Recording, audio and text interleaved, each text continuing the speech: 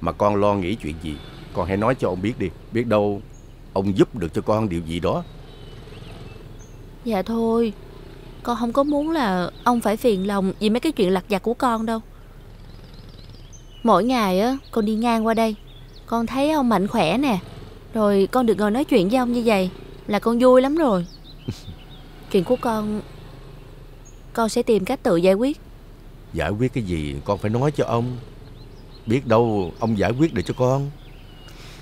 Dạ thôi Ông không cần lo cho con đâu. Ừ. Con là ai chứ? Con là cháu của ông mà. Lạc quan là một đức tính rất là tốt Để kết nối cho sự thành công và hạnh phúc Hơn mọi thứ khác.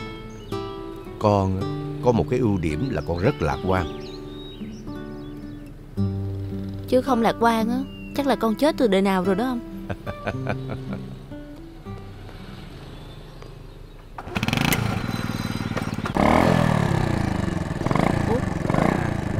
gì vậy hả?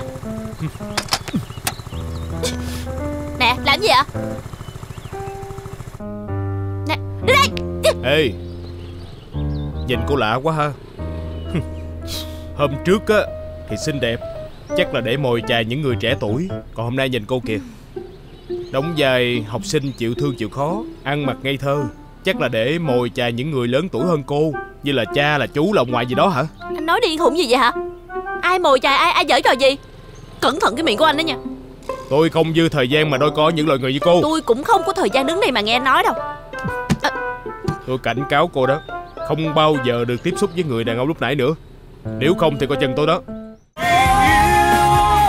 Mà đến sao không trân trọng một nửa chân thành